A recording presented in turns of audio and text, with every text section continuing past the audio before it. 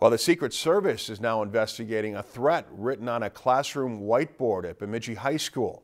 These images, which were shared on social media and with our newsroom, show messages written by students on the classroom dry erase board. One message reads, quote, if no one kills Trump, I will do it myself, end quote.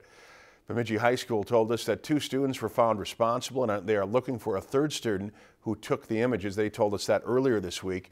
Bemidji Police Chief Mike Mastin told Lakeland News today that they were made aware of the threat on Monday, but that the Secret Service has taken over the investigation and the Bemidji Police Department is no longer involved.